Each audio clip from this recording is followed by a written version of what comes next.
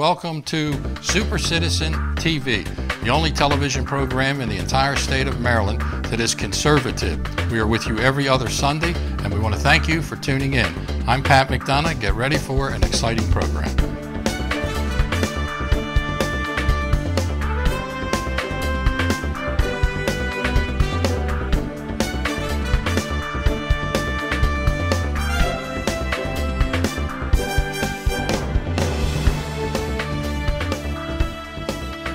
Hate to say it, but I feel like I need to feel sorry for the Democrat Party, or maybe the Democrat Party.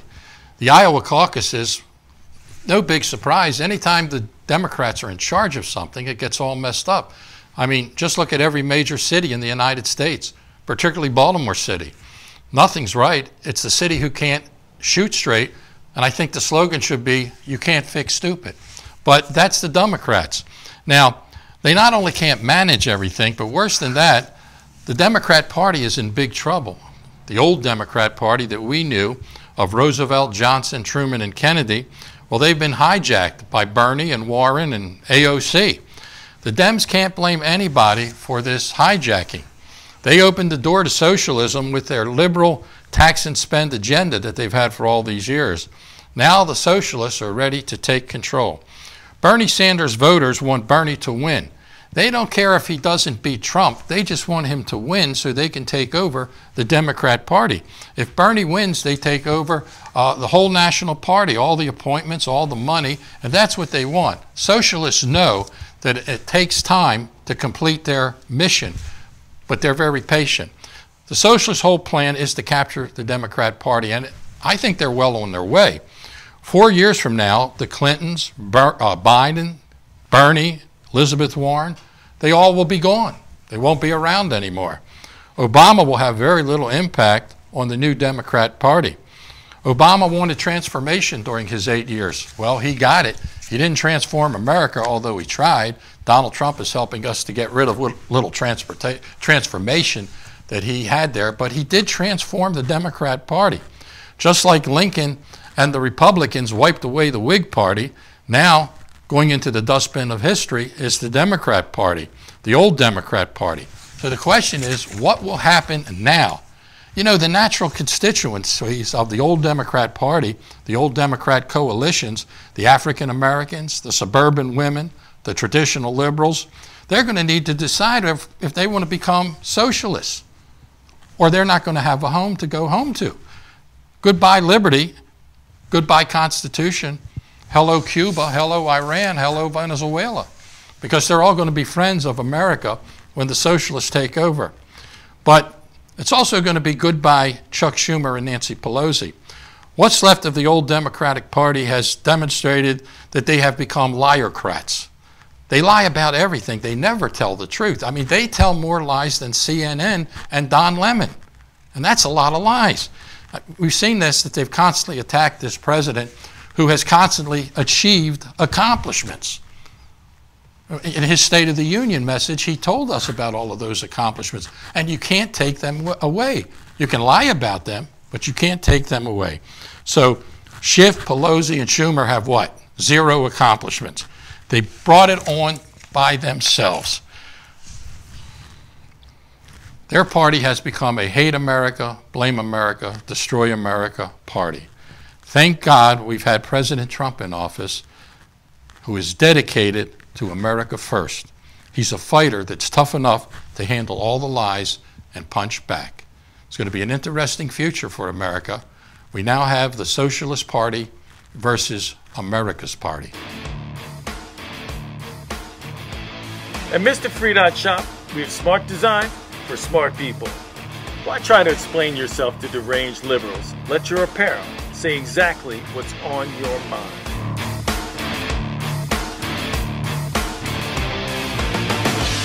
Check out our line at Mr. Free Shop and remember, wear what you think, wear what you think, wear what you think, what you think.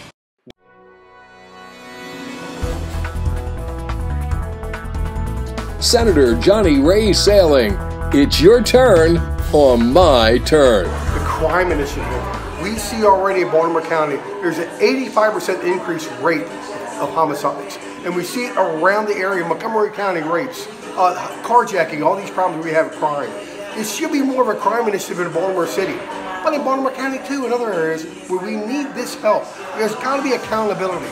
There's got to be a way where we can tell these people, if you do this, you're going to get this. And we're not doing that. So we got to fight the fight. The only way we can do that is, is make sure there's accountability when they do the crime. They got to do the time. There's so much more to me, South Annapolis. I want you just to call down there, call your senator, call your delegate, tell them you got to fight the crime, you got to put the right law in place, help our city, help our state. That's the only way we can make a difference. Senator Salling, God bless you. Join the club, the Super Citizen Club. Let your voice be heard across the state. For just $20 a year, you'll receive inside access to our social media network, direct delivery of our Super Citizen newsletter, and advance notice and discounts to our special events and more. Call 410 238 0025. Join the club, the Super Citizen Club, today. Delegate Kevin Hornberger talks to us about a very serious subject. We talk about our liberty in America, the Second Amendment, very important to all of us. And it looks like the Maryland General Assembly, or as I used to call it, the Maryland General Asylum, is heck bent on taking away our firearms. My name is Delegate Kevin Hornberger, and I serve in the General Assembly. We're in session right now, and it's my pleasure to represent Cecil County, but I'm actually here today as a call to action.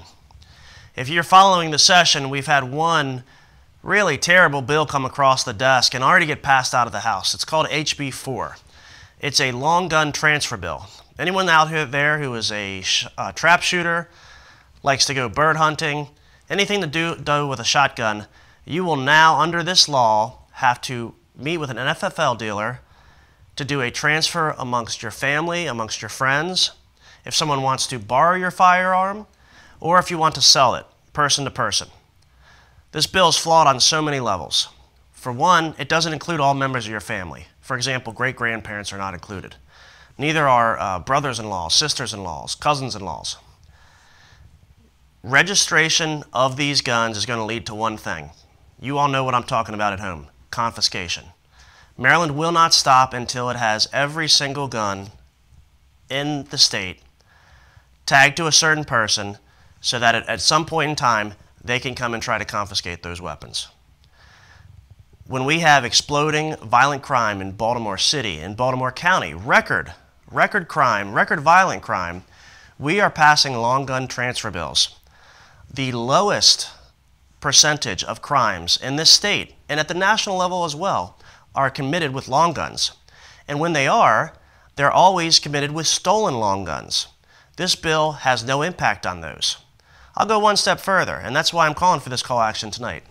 If someone steals a firearm for your home, and it's a shotgun, and the value of that shotgun is less than $1,500, this bill does not apply. That's petty theft. That's six months in, in jail. We need to be strengthening laws on violent crime. We need to go after folks that break laws and increase the felony and the prison time for those that steal firearms, the perpetrators of these crimes. What I want everyone that's at home watching to do is to get on your laptop, get on your cell phone, and find out who your state senator is, okay? The only hope that we have of getting rid of this bill is killing it on the Senate side. They're cooler heads over there.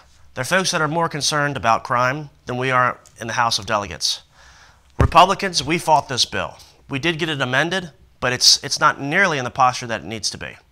So, again, today I want you to look up your state senator, call them, email them, send them a letter, and say, please, please, please kill HB4. And with that, we'll see you next time. Thanks. Pastor David Lewis joins us, and he's going to tell us about how fortunate or blessed we may be in terms of leadership for the United States of America. The Old Testament prophet Daniel, he of Lion's Den fame, tells us in the book that bears his name that God places and removes kings and leaders. King Solomon, the wisest man who ever lived, tells us that God turns the hearts of those leaders in whatever way he pleases. And the Apostle Paul told the Romans that those who are in authority are placed there by the Lord. Now, I tell you all of that to tell you this Donald Trump is God's man for the job. I don't expect liberals and unbelievers to agree with that, After all, how can people who believe in God be for abortion and same sex marriage? I have a problem with liberals, but I can't change them. What I can do is pray for them. Pray that God would open their eyes to the truth. The bigger problem that I have is with Christians and Jews who say they're God's people but don't act like it. God hates the hands that shed innocent blood. And is there any blood more innocent than the blood of an unborn baby? Yet, how many Christians vote Democrat, the party that worships at the altar of abortion? Donald Trump is the first president to speak in person at the Right to March, the Right to Life March in January of this year in Washington, D.C. How many Christians, though, want him thrown out of office? Donald Trump, the first president to move the United States Embassy in Israel to the capital city of Jerusalem. But where's the American Jewish vote? How long will God give the window of opportunity that is currently open under President Donald Trump? Well, we may find the answer to that in the Bible. God destroyed Sodom and Gomorrah for lack of enough righteous people in the land. King Solomon said, Righteousness exalts a nation, but sin condemns any people. Sodom and Gomorrah were known for their sexual promiscuity. It's from there that we get the word sodomy. And America now is well known for the sodomites who flaunt their sin. How long before God's judgment will come down upon the United States? We certainly deserve to have it happen, but God has given us a reprieve under Donald Trump. Will we take advantage of it? Are you listening, America? Now, here's a news flash the Democrats don't like you. The Democrats at CNN really don't like you. As a matter of fact, they think you're credulous boomer rubes. How rude. But don't take my word for it. Here's what they said about you, your family, and anyone else who dared support and vote for Donald Trump. That Donald Trump couldn't find Ukraine on a map if you had the letter U and a picture of an actual physical crane next to it. He knows that this is, you know, an, an administration defined by ignorance of the world. And so that's partly him playing to their base and playing to their audience, uh, you know, the, the, the credulous boomer rube demo that backs Donald Trump, um, that, that wants to think that, that, that Donald Trump's a smart one and they're, oh, y'all, y'all, y'all elitists are dumb. You, you us with your geography and your maps and your spelling, even though my... This is CNN the most trusted name in news.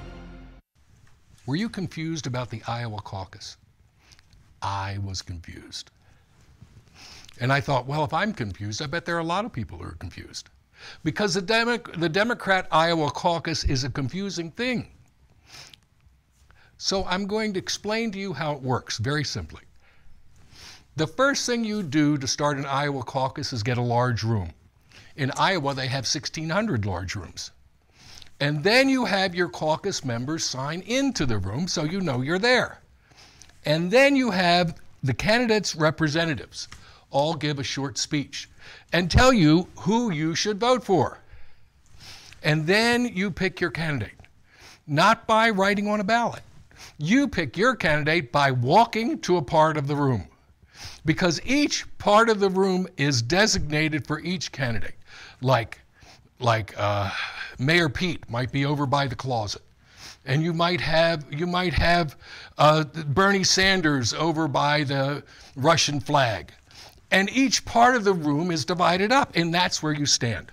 And then, if your candidate gets less than 15% of the vote overall, you are considered, your candidate is considered to be what they call unviable. So you have to move. So all of the candidates, all of the uh, delegates try to get you to move into their space. And then they're counted again.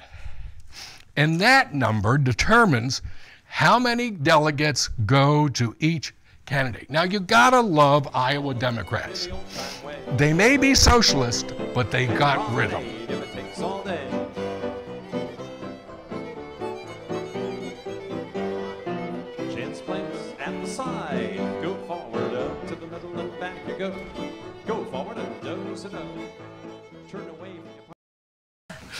Yes. Well, first of all, I want to introduce our guest, Danielle Hornberger. Uh, who is the wife of the gentleman who was on earlier talking about guns. And, State uh, delegate. Yeah, Yep. he's a state delegate, and he used to sit behind me in the legislature before I was asked to leave. And uh, they are from Cecil County, great county. Now, Cecil County, this is a growing county, Danielle. Right? It is. It is. Um, we are 15 minutes from the Pennsylvania and Delaware line, Mm-hmm. uh, right at the top of the bay. In fact, uh, I am actually in a little town called Northeast. I've heard of that, yeah. Yeah, so um, that's good that you've heard of it. Yes. Mm-hmm. Most people say, Where is that again? That- So- We've heard of that. And also, you work with uh, Congressman Andy Harris. I do, yes. Yes, so uh, this is just north of Bel Air and Harford County, and it's a growing area. If you take I 95, there's a sign that says, Welcome to Northeast. Really? Yep. You Got it. That is right. That is right. I've And, seen uh, it. Well, that's a good sign, believe me. Let me tell you. you. It should say, the sign should say you are actually 60 miles from the destruction of Baltimore City. Yes, but it's beautiful up there. It really is beautiful. up Yeah. It is beautiful. We hope to keep it that way. Yeah. That's a big topic in, in Cecil County these What are, days, what, are actually. the, what's the, what are the challenges in Cecil County, keeping Cecil County the way it is instead of the way this, uh, the Southern Maryland has become? You've got it, actually. Uh, so I'm originally from Southern Maryland. I'm Oh, from really? Waldorf. Yeah. Um, and there's so many comparisons I could make when I was younger to Waldorf, Maryland, to, you know, areas in Cecil County. Uh, but it, there are a lot of concerned uh, citizens. In fact, I've been door knocking. Um, The reason she, she just doesn't go out and knock on doors as a person, I forgot to say, she's actually a Republican candidate for county executive. They have a county executive there. Now, they haven't had one forever. It's been so, sort of a recent thing as the county has, has grown. that's correct. Charter Uh, government is so fairly new to y- us. Your election is in April. yes. Do you know what the date is? The Yeah, April- April You 28th. would. You I would. would. I happen Because to know a that. So she just doesn't knock on doors. Right. She's doing it because she's running. So anyway, uh, we'll talk some more about uh, Cecil County and some of the problems up there. It's a great area. It's a beautiful area. It's a growing, is. growing It is. area. Uh, but the Democrat Party, we're talking about, uh, in my commentary, I thought more and more about this. Like one of the thoughts that struck me, Bernie, uh, the whole bunch, Biden's, Clinton, they're all they're older people. They're going to be gone. Yeah. And you know the socialists, they like to get in there. Once they get in, you can't get them out. They are like cockroaches. They don't go away.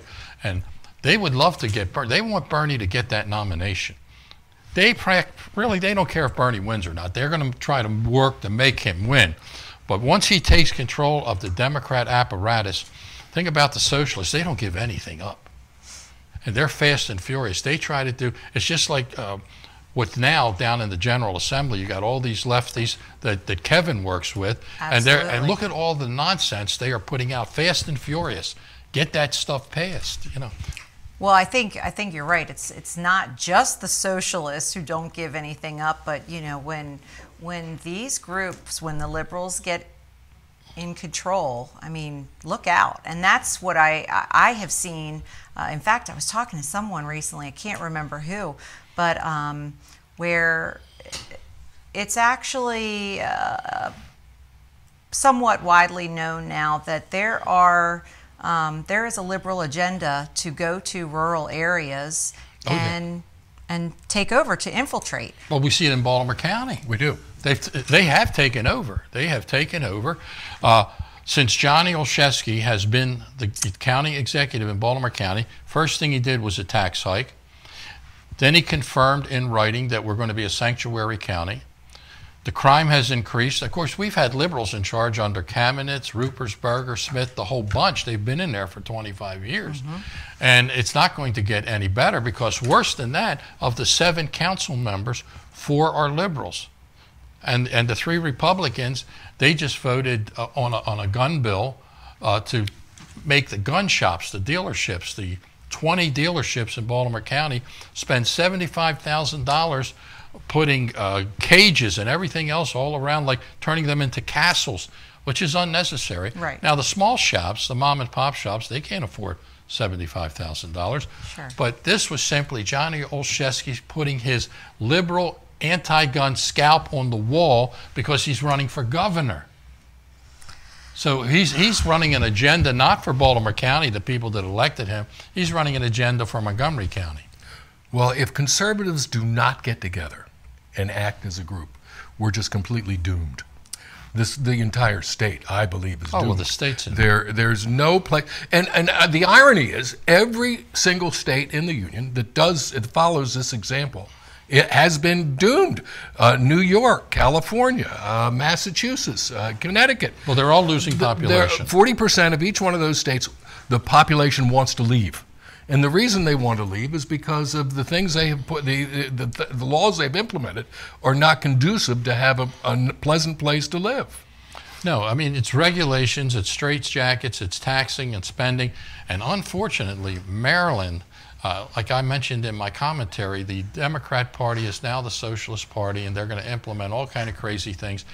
We may benefit. The conservatives may have gotten a break there because a lot of these traditional co- constituencies, like President Trump, according to Gallup, is getting 25 to 30 percent of the black vote favorable. Yes. Uh-huh. Okay. Right. Now First that's unheard of. history. Yep. If if a Republican conservative got five percent of the black vote, that was amazing.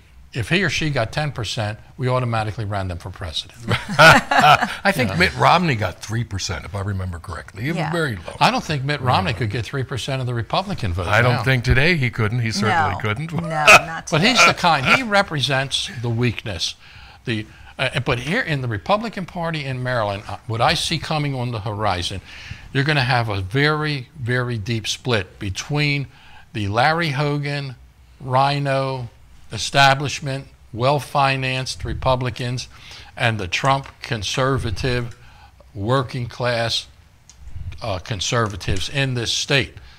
I mean, you know, and- Absolutely. Is Uh, we there can- is is there room for a Trump conservative in the state of Maryland? Yeah, I we think have so. some. Yeah, sure. Absolutely. Really? Yeah, yeah, and, and I think there. Um, it's important to make that designation too, right? Um, because it's actually we hear this a lot, right? The the eleventh commandment.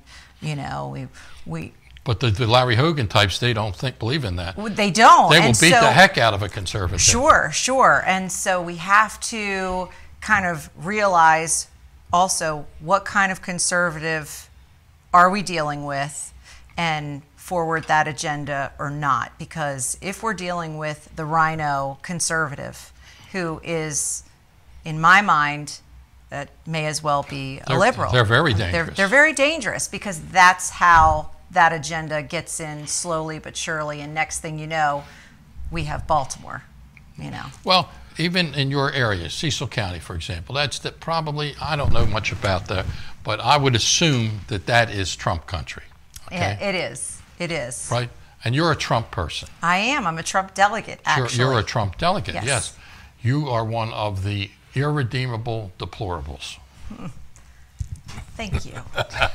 That ought to get you elected. Very, should get very proud. yeah, and I'll tell you, I I've seen, and uh, I think the future of the Republican Party and leadership are the women. The women are conservative. We're not the suburban housewife, mushy liberals, undecided, don't know what's going on. Uh, our women in the Republican Party, especially the Trump women, are smart and tough, and they stick to their guns and they know what's going on. Uh, now, I think that, like, I think Danielle is a classic example of that. If she were successful and won that county executive's position, she would be a great example as a leader. People would see that we have a leader, not like Johnny Olszewski, but someone who is serious about common sense issues. And, and, I, and, I, and I could probably get a free pass to go to Cecil County. I bet you could. Yeah. I bet I'm you allowed to go to Montgomery County, but they won't let me back out, so I don't go over there. I talked to Peter Franchot. You know, Peter Franchot, on the floor of the House of Delegates one time, called me a member of the Klan. No. Yes. And I stood up, and it was a fun debate. Uh, he was all the way in the back. I used to sit in the front. And I stood up and I said, The last time I looked delegate, they were not hiring Christian Catholics in the Ku Klux Klan. It's an interesting comment coming from the party that created the Klan, the Democrats. Oh yeah, they, they man, they really got away with Well said. propaganda. They were the most an- an- pro-slave party. Uh, The Civil Rights Bill would would not have passed under Johnson were it not for the five Republicans who helped pass the bill. There was a filibuster going on that they helped break up. It was Republicans that helped pass that. This is the kind of history that our kids should be learning Oh, in school. Well, you're not going to hear it in school. No, no. You have to actually read something other. I remember when uh, Ronald Reagan made a comment. He said to uh, someone, "We only control and own the White House." He said, "We don't control academia, we don't control entertainment, media, right. we don't control the bureaucracy, we don't control society in terms of culture, we don't control the media, and." What the socialists and the radical left have accomplished, it's an amazing accomplishment in a nation based on a constitutional republic of liberty and freedom. Mm-hmm. They have taken control of these constituencies and these institutions in this country. And the reason you have millenniums running around who like Fidel Castro in Venezuela is because they have been brainwashed and propagandized K through 12 and at the university. And we have gone into debt to pay for their education I know.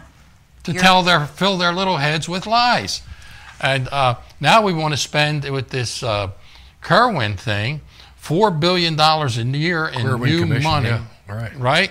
Uh, just to further that agenda. I will say um, that I think that the people are getting smarter, and even the kids are are ready for someone real. Hence, Donald Trump. They're ready to be just told this is a real person. He's he's not perfect. You know, there's no such thing. He has his flaws, but he's going to do what he says. He's going to get the job done, and you know they're they're ready for that. I, I mean, I'm serious. I'm getting serious with you. We need your help. This is the only conservative television show in the entire state of Maryland. It's the only place you hear another viewpoint. This is the only opportunity you have to see on TV in prime time conservative leaders, conservative thought, conservative ideas. You can get started by just simply joining Super Citizen, which costs $20 a year. We have events, public events, where you get to meet people. We have a Saturday night radio show, which uh, has 10,000 listeners. That's a lot of people on a Saturday night. Please become part of Super Citizen. We need you, and you need us. I'm Pat McDonough. Thank you.